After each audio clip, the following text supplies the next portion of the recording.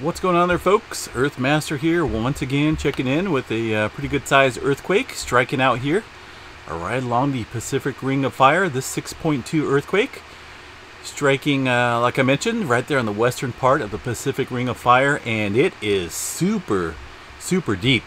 6.2, no tsunami expected due to the magnitude and the um, the major depth of this earthquake here. Very, very deep earthquake. I'm not even joking. That's a that's a good one. That's super deep. So some major movement going on here on the globe. This following that 6.7, now downgraded to a 6.6 magnitude quake that struck just south of Japan uh, earlier this morning here.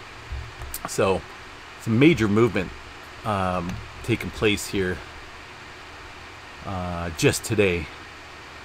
What it all means, well, I think we're still kind of in that. Uh, um, maybe we're getting out of it now. That little phase, that phase of uh, just moderate to minor activity. You know, it's been a while since we've seen some large scale, large magnitude, deep movement uh, that appears to be the uh, taken over today. I guess you know it's kind of kind of strange here. Anyway, specific point. Let's go ahead and check out specifics of where this earthquake struck out here. And you can see it taking place way out there. Let's see here. Zoom this back in just a tad bit here.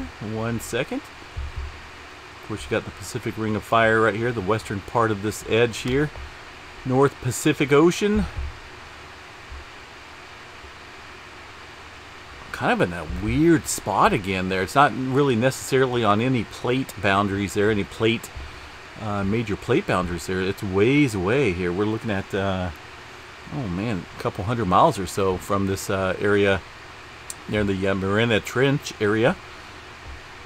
Now, wow, wow, that's pretty crazy here. i have to do some investigating in this uh, for the earthquake video update later on, but uh, you can see that right there, that red circle indicating that most recent 6.2 earthquake there at 614 kilometers. We'll see if they uh, if they upgrade, downgrade this, you know, they've been doing a lot of that recently, the USGS that is. Uh, but nonetheless, a deep, deep earthquake, and that's kind of showing up here on some of these seismograph stations here. You can see that right there on Mammoth Lakes. That's a station right here, picking it up pretty nicely. That's the original signature. So 6.2, way out there in the Pacific, showing that uh, signature is kind of interesting there. But that's got to do along with the depth of the earthquake as well. Uh, could get interesting, folks, here west coast. West coast, of course, we've been having some earthquake activity out here. Uh, of course, all throughout Nevada, right? That's been ongoing for quite some time. Idaho. Um, nothing major, just kind of been some minor activity here. That all may change now that we're seeing some uh, deeper, I mean, deep, super deep activity today. Now, it this area right here is prone to deep earthquakes, but it's been quite a while, like I said, since we've seen something major and that deep up here in this part of the globe here. 6.6 well west of here, and now this 6.2 uh, striking out here along the western part of the Pacific Ring of Fire, that trench right here, or just west of the, the uh, this trench area. Going to go into a little bit more detail later on this uh, evening here when I do the earthquake video update here. We'll take a look at that specific area.